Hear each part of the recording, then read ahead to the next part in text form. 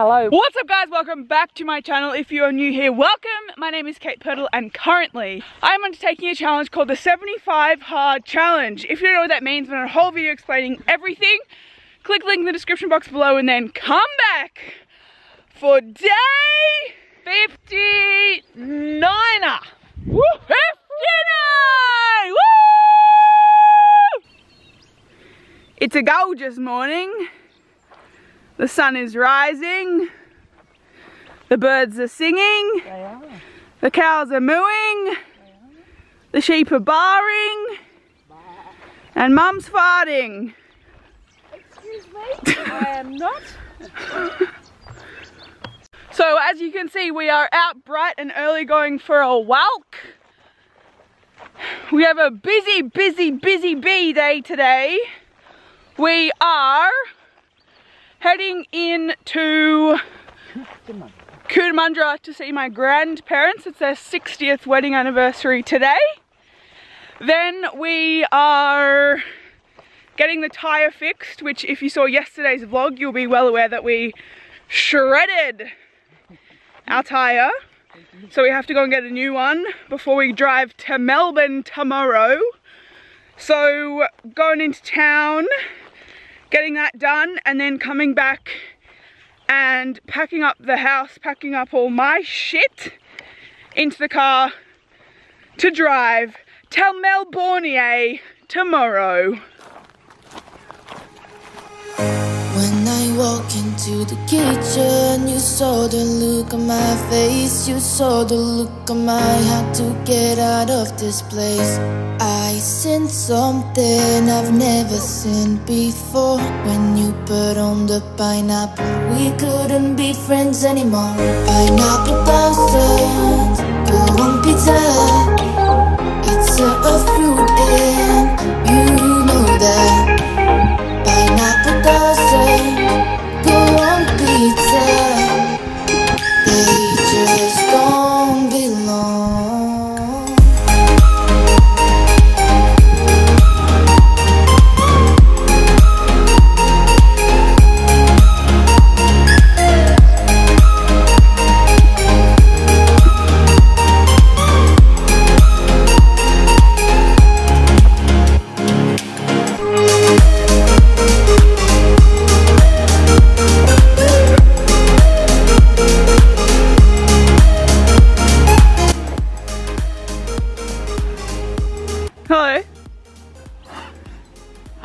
What's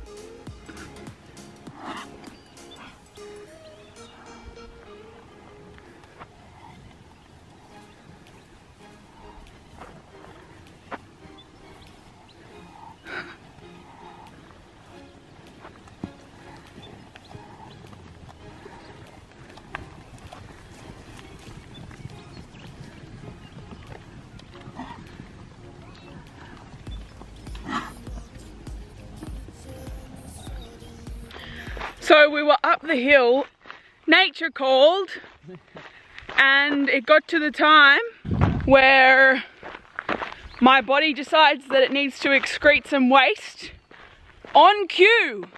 Same time every day. Yeah, baby. That's when you know you got some healthy bowels. Yeah, baby.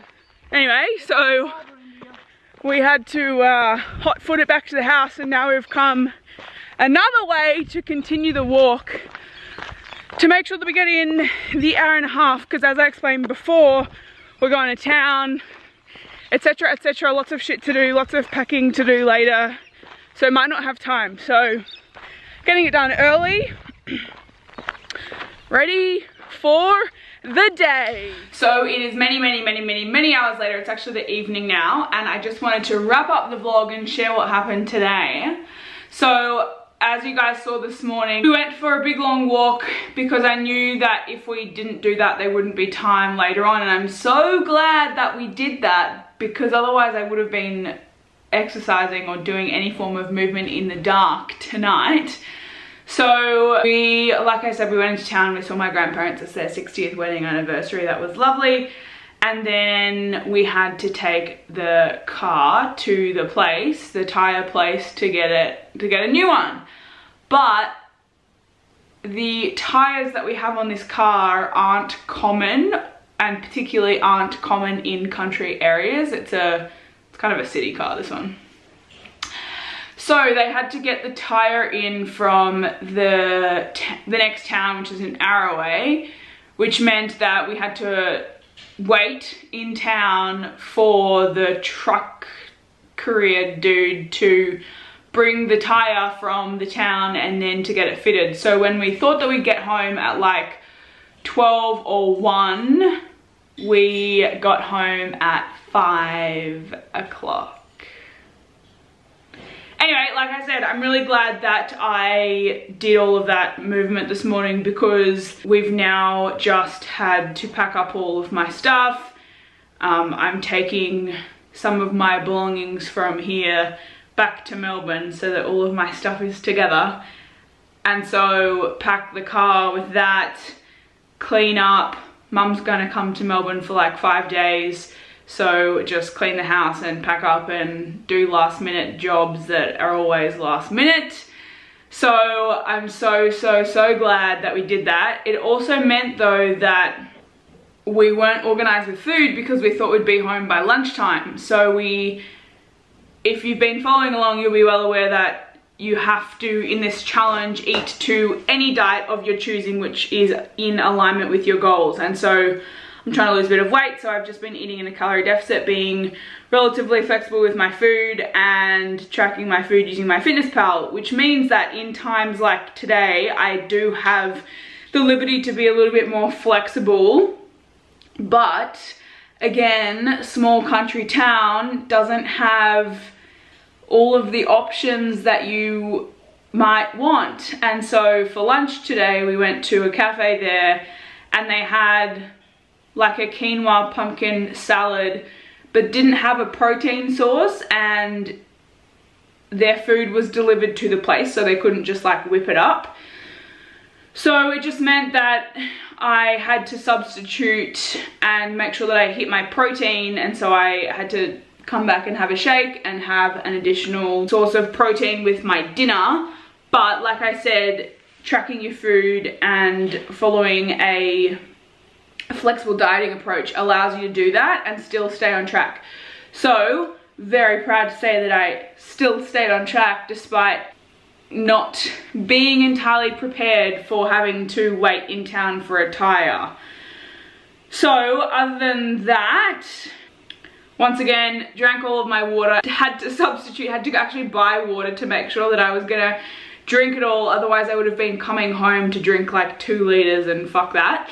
Um, so I drank all of water, took my progress picture, stayed on track with my food, just had to make some adjustments and um, substitutions. Did my movement this morning, which I'm stoked about, and I'm gonna have to read my book tonight because again, I wasn't organized with that. So, despite circumstances being uh, out of our control and kind of frustrating, to be honest, still managed to stay on track, so I'm stoked with that.